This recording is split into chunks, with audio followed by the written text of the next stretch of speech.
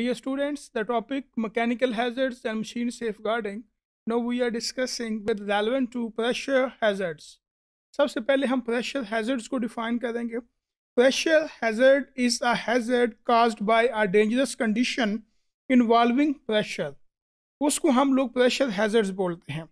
Critical injury and damage can occur with relatively little pressure. Occupational Safety and Health Associations के मुताबिक अगर हम लोग देखें तो यहाँ पे इसको डिफाइन किया गया है high pressure cylinders as those designated with a service pressure of 900 psi और ग्रेटर अगर कोई सर्विस प्रेशर 900 या उससे ज़्यादा है तो उसको हम लोग प्रेशर हैजर्ड्स बोलते हैं। There are many sources of pressure hazards some natural and most created by human because the human body is made up of approximately 85% liquid which is virtually incompressible increasing pressure doesn't create problem by itself problem can result from air being trapped or expanded within body cavities अगर इसको देखा जाए तो इसमें दो चीज़ें हमने D students बयान की हैं एक तो ये कि composition of body maximum 85 percent तक आपकी लिक्विड के ऊपर मुश्तमिल है और नंबर टू यहाँ पे जो प्रेशर बिल्ड होता है, उसके सोर्सेज को हमने बयान करने की कोशिश की है और उन सोर्सेज की वजह से जैसे एयर है, कुछ नेचुरल हैं, कुछ मैन मेड हैं। अब जो मैन मेड हैं, उसमें वो प्रेशर है जो हमने खुद से डेवलप किया हुआ है और जो जैसे हवा का प्रेशर है विंड की स्पीड है, ये चीज़ें गॉड गिफ्टेड हैं। अब इन दोनों चीज़ों को लेके हमने किस तरह से इस चीज़ को कंट्रोल करना है, उसको देखते हैं। For example boiler and pressure hazards a boiler is close vessel in which water is heated to form steam, hot water or high temperature water under pressure. आपको मालूम है कि बॉयलर में पानी को डाला जाता है और हीट दी जाती है। जब पानी को डाल के हीट दी जाती है तो ऑटोमेटिकली उसकी स्टीम लेवल हाई होगा पानी बहुत ज़्यादा गर्म होगा हॉट वाटर होगा उसको फिर यूज़ किया जाता है। क्वेश्चन ये है the person who will perform his duty on boiler क्या उसने प्रोटेक्टिव मैकेनिज्म के तहत अपने तमाम पर्सनल प्रोटेक्टिव इक्विपमेंट पहने हुए हैं? उसके अलावा इसको हम लोग देखते हैं डिज़ाइन, कंस्ट्रक्शन और इंस्टॉलेशन एरर बाद गलती हो जाती है। डिज़ाइन करते वक्त, इंस्टॉलेशन करते वक्त और कंस्ट्रक्शन करते वक्त ह्यूमन एरर बेसिकली मिस्टेक हो जाती है sometime poor or sufficient training of operator जो ऑपरेटर उसको बॉयलर को ऑपरेट कर रहा है, उसको प्रॉपर ट्रेन नहीं किया जाता। इस वजह से सम टाइम किसी किस्म की इंजरीज का भी सामना आपको करना पड़ सकता है।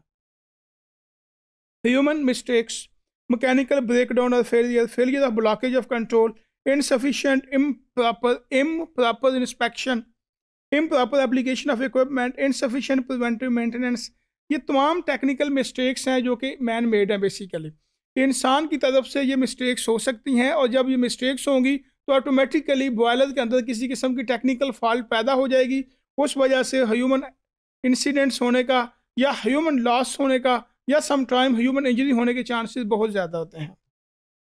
बॉयलर एंड प्रेशर हैजर्ड्स को कैसे हमने कंट्रोल करना है? इसमें जी डियर स्टूडेंट्स चार चीज़ें हैं। डेली चेकअप है वीकली चेकअप है मंथली चेकअप है या ईयरली चेकअप है। तो डेली बेसिस पे बॉयलर को देखें वीकली बेसिस पे बॉयलर को देखें, महीने के बाद देखें या साल के बाद देखें।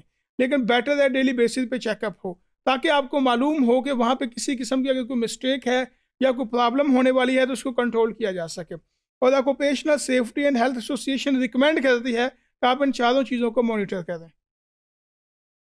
High temperature water hazards high temperature water is exactly what is name, implies water that has been heated to a very high temperature, but not high enough to produce steam पानी बहुत ज़्यादा गर्म है, लेकिन उससे स्टीम नहीं बन रही। तो वो जो हाई टेम्परेचर वाटर है, उसको कैसे कंट्रोल करना है? यहाँ पे ये जितनी भी चीज़ें यूज़ हुई हैं डी स्टूडेंट्स इन सब का एक मकसद है कि चाहे उसको प्रोसेस में यूज़ करें मकैनिक्स में यूज़ करें केमिकल में यूज़ करें, अगर उसके रेलिवेंट एस ओ पीज़ आप फॉलो नहीं करेंगे तो वहाँ पे प्रॉब्लम होने के चांसेस बहुत ज़्यादा हैं। Not all pressure vessels are fired कुछ चीज़ों से आग भी लगने के चांसेस हो सकते हैं। अब यहाँ पे क्वेश्चन है, वो ये है कि वो जो चीज़ है, जो बहुत ज़्यादा हीट प्रोड्यूस कर रही है, अगर उसके प्रोटेक्टिव जो आपके इक्विपमेंट्स हैं या आप लोगों के प्रोटेक्टिव जो बेसिकली प्रॉपर वे में एस फॉलो करने के बाद जो आपके, जो उसके प्रोटेक्टिव पर्सनल इक्विपमेंट्स हैं, अगर वो आपने वियर किए हुए हैं तो चांसेस है कि आपका लॉस नहीं हो सकता। The hazard most commonly associated with high pressure systems which are leaks pulsation vibration release of high pressure gases and whip flap from broken high pressure pipes tubings or hoses अब ये जितने भी point छोटे छोटे बयान किए गए हैं फ़र्ज़ कह रहे हैं कि एक पाइप है, उसमें से बहुत ज़्यादा हीटेड वाटर गुजर रहा है तो उसकी जो स्ट्रीम है, वो पाइप फट जाता है तो बहुत ज़्यादा डैमेज का बायस बन सकती है। या इसी तरह अगर वो पानी कहीं पे और यूज़ हो जाता है, जहाँ पे उसको यूज़ नहीं करना था, उससे भी प्रॉब्लम पैदा होने के चांसेस बहुत ज़्यादा हो सकते हैं। Cracking hazards in pressure vessels on one of the most serious hazards in pressure vessel is the potential for cracking वो क्या है? कैसे है, उसकी वजह से डी स्टूडेंट्स ब्लास्ट हो सकता है और ब्लास्ट के बहुत ज़्यादा इफ़ेक्ट हो सकते हैं। Cracking can leads to either the complete rupture और leakage to consequences the consequences of complete rupture include number one blast effects due to sudden expansion अचानक इस चीज़ के एक्सपैंड होने से ब्लास्ट इफ़ेक्ट हो सकता है। Possible injuries and damage from fragmentation और उस चीज़ की वजह से वहाँ पे पॉसिबल इंजरीज भी हो सकती हैं और पॉसिबल डैमेज भी हो सकते हैं। डैमेज टू प्रॉपर्टी हो सकता है डैमेज टू बॉडी हो सकता है इंजरी टू ह्यूमन बीइंग हो सकता है। ये इसका पिक्टोरियल इफ़ेक्ट है।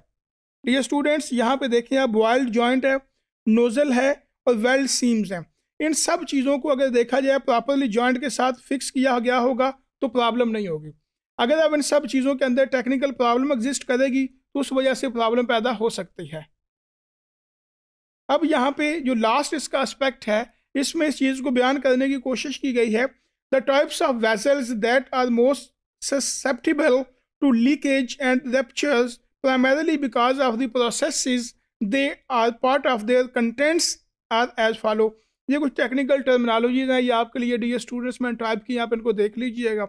लेकिन ये जो लास्ट स्लाइड है, इसका एक खास मकसद है, वो ये है कि जब आपका वाटर या वाटर हीटेड वाटर जब उसमें स्ट्रीम पैदा हो जाए या स्ट्रीम के बगैर है या बॉयलिंग है, उसमें आपने ये देखना है कि जिस रास्ते के ज़रिए वो पासन हो के आगे मूव कर रहा है, वो प्रॉपरली सील्ड हो प्रॉपरली चेक हो डेली बेसिस पे ऑक्यूपेशनल सेफ्टी हेल्थ एसोसिएशन के मुताबिक डेली चेक हो वीकली चेक हो मंथली चेक हो ईयरली चेक हो, ताकि उसके अंदर अगर किसी किस्म का कोई फ्ला है, उसको प्रॉपर वे में इन टाइम कंट्रोल किया जा सके।